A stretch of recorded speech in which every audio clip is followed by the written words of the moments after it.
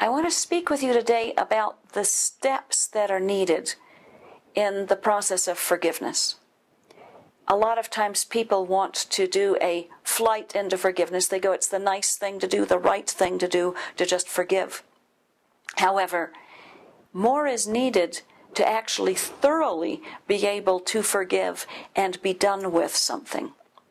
So the f- very first step is to acknowledge that you've been hurt and that you are holding something against someone because you've been hurt. You're sad, you're mad, you resent them. So you need to acknowledge you have those feelings, and the first step is to get more in touch with the feeling, to really feel how mad or sad you are, not to whitewash it, to cover it over, but to actually explore those feelings more.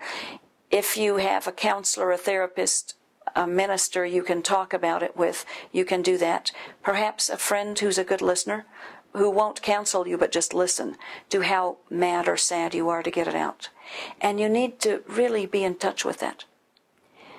The next step that is a possibility sometimes and other times it's not, is that you could actually communicate to the person that hurt you how much it hurt what they did, even if they didn't do it on purpose or it's not what they meant, that you were still hurt by this. And that you can either tell them it or write them in a letter and tell them you're doing it with the purpose of forgiving. But you need to let them know how much it hurt so that you can move on to the step of forgiveness. You don't want to be screaming at them or cussing them out. You want to let them know how you experienced what happened and how it's affected you and how it's affected your life if it's had long term effects. The reason you need to do that is that so many people who try to just jump to forgiveness feel they can't because they never got to tell the person and they don't feel the person knows how much that they were hurt. So there's a piece lacking without that telling them how much it hurt. Now, when you tell them how much it hurt, don't expect them necessarily to be sorry. They may not take it well at all. They may tell you you're wrong, you're lying, you're too sensitive, you whatever. They may not they may not at all acknowledge it. But you need to remember that's not the point of telling them. The point of telling them is for you to stand up in empowerment and have communicated it whether they receive it or not. You need to do that to be an adult, to stand in adulthood and speak it, especially if what happened to you was when you were a child. Once you've communicated it, it then is time to move on to forgiveness itself. In forgiveness, you need to recognize that you don't need to hold these people accountable anymore. That you are actually not the means by which justice needs to come to them. The laws of karma hold, and actually, God is in charge of the justice that will come their way for what they've done. It's not your job to hold it. That's the good news. You don't need to hold on to how much it hurt and how angry you are. They will absolutely certainly face their karma when the time comes. And you don't have to be a part of that. So you can actually be free of it. So the reason to forgive is to set yourself free. You set the other free too that you're not in between them and experiencing their karma because you're not holding on to it. So you set them free for however God sees fit for them to experience their karma, just knowing they will. And you don't need to gloat in that either. You can actually pray for them that they'll have the strength to learn when their karma comes their way.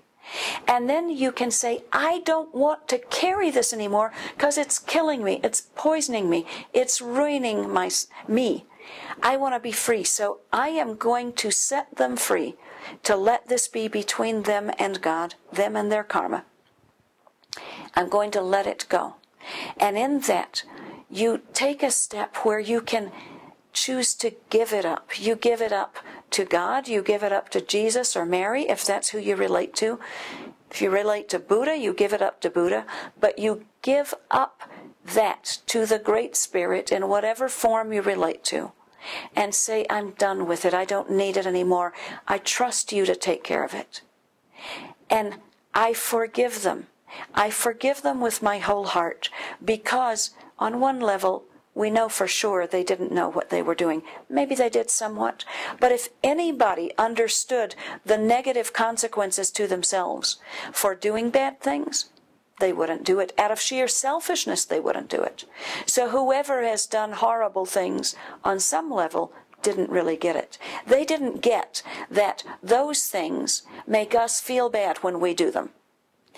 And when we do what is positive, we feel better. So everybody wants to feel better. So they didn't really understand that. As Jesus taught from the cross, he said, on the cross, he said, Father, forgive those who have done this to me, because they know not what they have done. When you get that people don't really get what they are doing, it'll make it easier for you to let go. And then the big step is to actually let it go. You don't need to be mad at them anymore. You don't need to hold them accountable anymore. You can let go because they will get what is right for them.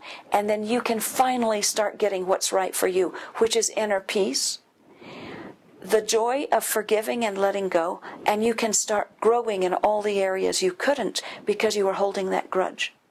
You will then discover the great blessings of forgiveness. And you will give that gift to others too, which will be another blessing to you. I truly hope you enter into this and try it. And if you have questions about it, I'd be happy to answer your comments on how to enter into forgiveness.